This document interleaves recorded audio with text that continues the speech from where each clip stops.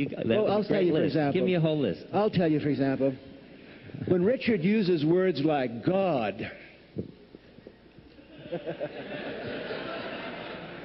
or spiritual, and occasionally you call upon the name of Christ, I, wow, that's The great way is not that's difficult. far out. The great way. The great way is not difficult for those who have no preferences.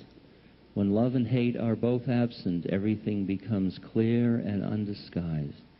But make the slightest distinction, and heaven and earth are set infinitely apart.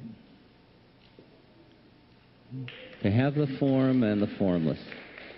You? But yet the words do have semantic meaning. There- as I said you- the beginning, fact that you're reacting to those is your problem. It's your attachment. I use God the way I use it. Why should that upset you?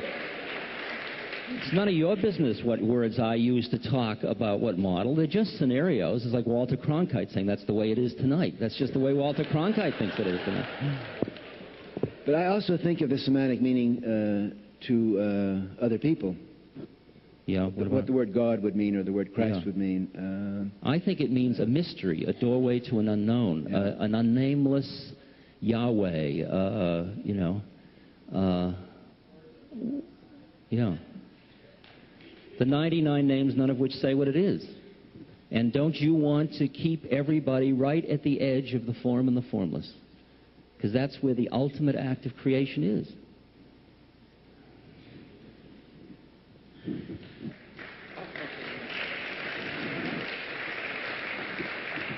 For some people, God is a total drag, and for other people, it's a doorway. And I just send out as many doorways as I can, because I all the doorways lead to the same place, as far as I'm concerned.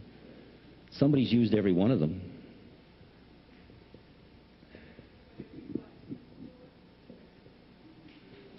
I, I think that it's uh, our duty as explorers and as um, frontier scouts for our species uh, to invent new terminology. We don't say, well, uh, I, uh, I went out in the spaceship and I climbed the mountain and I went over the hill and uh, I found this incredibly new terrain and I'm going to call it um God. You know, uh, let's call it, uh, you know, um, New Jersey.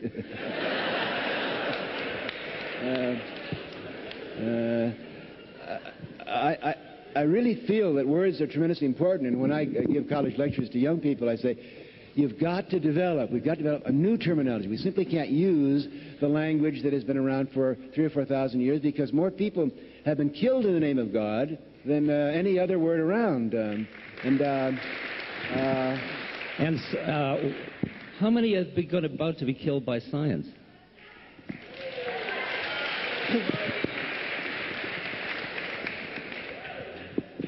I never use the word science uh, unless I use the adjective pagan science or humanist science or. Um, you know. Uh,